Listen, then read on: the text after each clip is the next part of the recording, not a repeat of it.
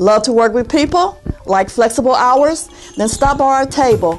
Hi, my name is Pam. I'm here representing the Riverside Reunion Committee. I'm H. Marie Thomas. I'm looking for a few good men and women who like to serve others. I'm Joshua Yamson, and I'm from Remove Pain Natural. Hello, my name is Michael Sahir, the owner of Words Made People Publishing Inc.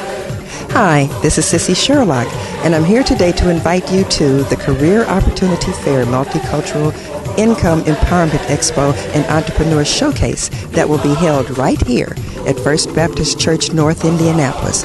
That is at 880 West 28th Street. You see the beautiful church campus behind me.